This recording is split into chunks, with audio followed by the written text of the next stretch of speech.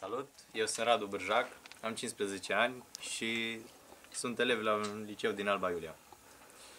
Acesta este câinele meu Fulger și împreună vrem să vă arătăm casa noastră.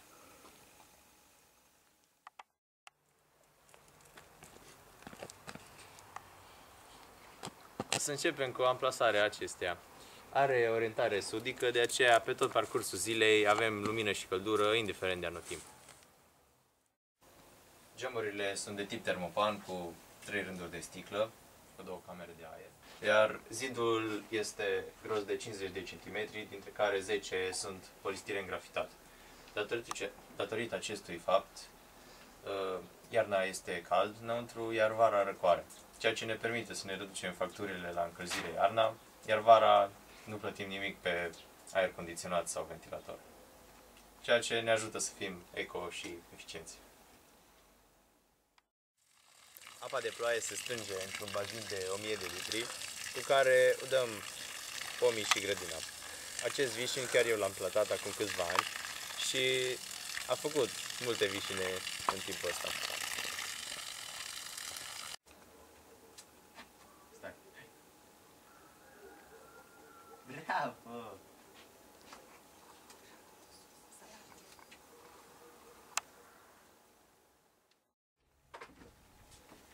Așa. Becul ăsta de sus este cu sensor. Uh, Merge numai noaptea și numai la mișcare. Adică nu resipește energia inutil.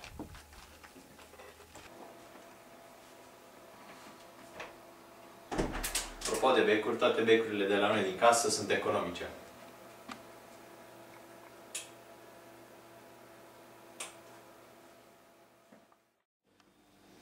Toate electronicele și electrocasnicele din casa noastră sunt de clasă energetică A. Datorită acestui fapt, avem o factură la curent foarte mică de 70 de lei, aproximativ 15 euro. Și asta este o sumă destul de mică datorită faptului că casa noastră are peste 200 de metri pătrați. Aceasta este camera tehnică. Încălzirea facem iarna numai pe lemne, în combustibil regenerabil. Acesta este boilerul. El are două serpentine. Dintr-una vine apă caldă de pe panourile de pe casă. Datorită lor avem apă caldă din martie până în noiembrie. Iar din cealaltă serpentină vine apă caldă încălzită de centrală. Asta se face numai iarna. Panourile solare sunt luate prin intermediul Programului Național Casa Verde. Centrala este pe combustie, nu la obișnuită, adică arde și gazele emanate de lemn fiind mult mai eficientă din punct de vedere energetic. Și asta este mașina de spălat vase. Dar nu o folosim doar dacă chiar avem cantitate mare de vase, când avem musafiri sau ceva de genul.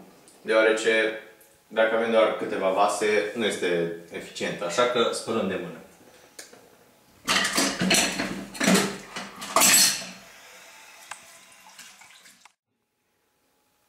Deși casa este foarte mare, consumurile energetice sunt destul de mici, datorită faptului că este bine izolată, a geamurilor mari și a panourilor solare.